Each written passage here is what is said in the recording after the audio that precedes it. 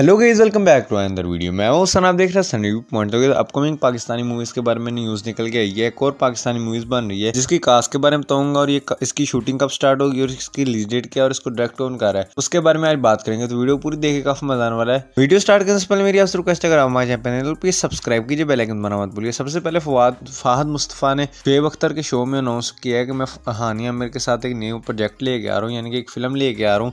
जिसके main lead में वो होंगी। और मेन इसमें लीड एक्टर मेरे ख्याल से फ़ाहद मुस्तफ़ा प्ले करेंगे और इसकी जो शूटिंग है, वो दिसंबर में स्टार्ट होगी। और इसको डायरेक्ट जो कर रहे हैं वो कंफर्म नहीं हुआ है लेकिन जो न्यूज़ निकल के आ रही है वो ये आ रही है कि नबील क्रैशी इसको डायरेक्ट कर रहे हैं। और ये हमें कब देखने को मिल सकती है? ये हमें ईद उल अजहा 2024 पे देखने को मिल सकती है यानी कि बड़ी ईद पे ये, मूवी देखने को मिल सकती है। आद मुस्तफ़ा का तो मैं आगे बहुत बड़ा फ़ैन हूँ क्योंकि इनके काम को मैं बहुत ज़्यादा पसंद करता हूँ। इनके एक्टर इन ला मूवी कायदे जिंदाबाद मूवी उनमें इनका काफ़ी अच्छा काम है। बाकी मैं तो इसके लिए बहुत एक्साइटेड हूँ। आप कितना ही मुझे कमेंट करके ज़रूर बताया बाकी वीडियो चाहिए वीडियो को लाइक कीजिए। चैनल पर नए चैनल को सब्सक्राइब कीजिए। मिलते हैं वीडियो तब तक अला हाफिज़।